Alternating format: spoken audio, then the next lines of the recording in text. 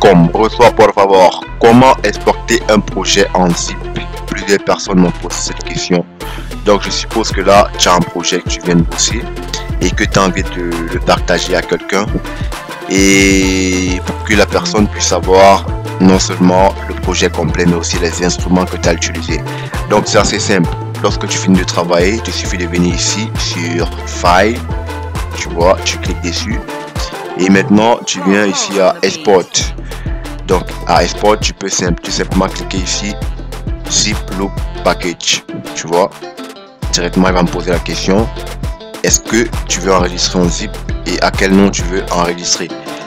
L'avantage lorsque tu enregistres un projet en zip, c'est que ça te permet de pouvoir avoir tous les différents instruments. Donc la personne qui a ton projet peut avoir les instruments que tu as utilisés, et peut avoir les patterns et puis elle a une bonne qualité de ton projet. Donc la personne peut facilement faire un bon mix et un bon mastering.